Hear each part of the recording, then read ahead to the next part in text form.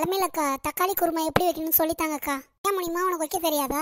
வைக்க தெரியும் இருந்தாலும் நீங்கள் செய்கிற மாதிரி செய்யலாம் தான். தக்காளி குருமா ஈஸியாக செஞ்சிடலாம் முடியுமா கடாயை அடுப்பில் வச்சு தேவையான அளவுக்கு எண்ணெய் ஊற்றிட்டு ரெண்டு துண்டு பட்டை ரெண்டு கிராம்பு இடிக்கிற கடலில் இடித்து போட்டு தாளிச்சிட்டு நீ நூறு கிராம் அளவுக்கு வெங்காயம் எடுத்தனா அதே அளவுக்கு தக்காளி பழம் எடுத்துக்கணும். சின்ன வெங்காயம் சேர்த்து செஞ்சால் இன்னும் சூப்பராக இருக்க முடியுமா வெங்காயம் எந்த அளவுக்கு எடுத்துக்கிறியோ நல்லா பொடிசாக கட் பண்ணி சேர்த்து வதக்கு.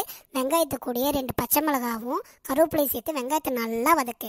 வெங்காயம் நல்லா வதங்கினதும் ஒரு ஒன்றரை டீஸ்பூன் அளவுக்கு இஞ்சி பூண்டு விழுது சேர்த்து நல்லா வதக்க முடியுமா?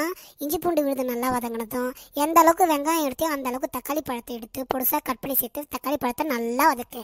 தக்காளி பழம் நல்லா வதங்கினதும் காரத்துக்கு தேவையான அளவுக்கு குழம்பு மிளகாத்தூள் அரை டீஸ்பூன் மஞ்சத்தூள் தேவையான அளவு உப்பு சேர்த்து அடுப்பை சிம்மில் வச்சு மசாலா பச்சை வாசனை பொருள் வரைக்கும் நல்லா வதக்கு.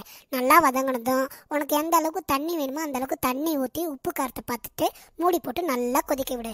கொதிக்கிறதுக்குள்ளார ஒரு கால் மூடி அளவுக்கு தேங்காய் ரெண்டு டீஸ்பூன் பொட்டுக்கடலை ஒரு நாலு முந்திரி பருப்பு ஒரு டீஸ்பூன் அளவுக்கு சோம்பு சேர்த்து நல்லா நைஸாக அரைச்சி எடுத்து வச்சுக்கிட்டு குருமா நல்லா கொதித்ததும் அரைச்ச விழுதியும் சேர்த்து ஒரு கிளறி கிளறி உப்பு காரத்தை பார்த்துட்டு மூடி போட்டு ஒரு அஞ்சு நிமிஷம் கொதிக்க விட முடியுமா? அஞ்சு நிமிஷம் கொதிச்சதும் தேவையான அளவுக்கு கொத்தமல்லி தழை தூவி ஒரு கிளறி கிளறி அடுப்பு ஆஃப் பண்ணிட வேண்டியது முடியுமா?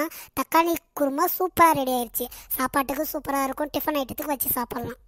டிஃபனுக்கு சாப்பாட்டுக்கு ஒரே குருமா தக்காளி குருமா தாக்கா அது வச்சனா வேறு எதுவுமே செய்ய தேவையில்ல. சரிக்கா நானும் போய் தக்காளி குருமா செய்கிறேன் போயிட்டு வரேன்க்கா. போயிட்டு வர முடியுமா தக்காளி குருமா உங்களுக்கு பிடிச்சிருந்தா அண்ணா தம்பி சமையல் சேனலுக்கு லைக் பண்ணுங்கள் ஷேர் பண்ணுங்கள் மறக்காமல் சப்ஸ்கிரைப் பண்ணுங்க. கூடவே பெல் பட்டனை கிளிக் பண்ணுங்க. அப்போனா தான் அலமேலக்கா போடுற வீடியோ நீங்கள் உடனே பார்க்கலாம்.